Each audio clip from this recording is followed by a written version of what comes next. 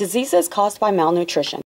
Did you know you can develop diseases caused by a lack of essential vitamins and minerals? It's true.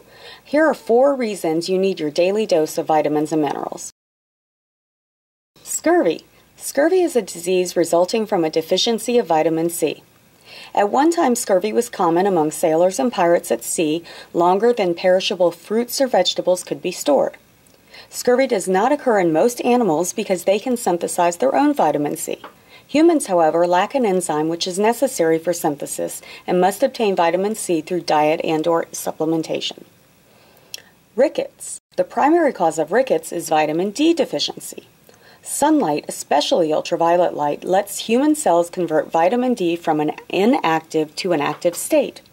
The use of strong sunblock, too much covering up in sunlight, or not getting out into the sun can cause rickets.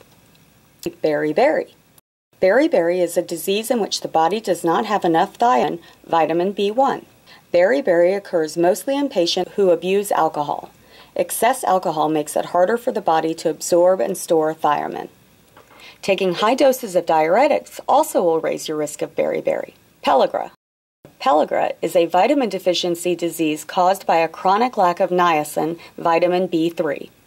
Pellagra is common in people who obtain most of their food energy from maize.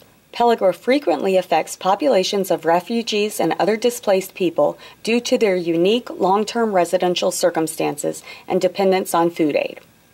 Although most of these diseases are rare, they can occur through malnutrition, even in this day and age. The Professional Supplement Center offers a wide variety of doctor recommended vitamins and supplements, as well as a registered nurse on staff to answer any questions you may have, as well as guide you towards products to optimize your health.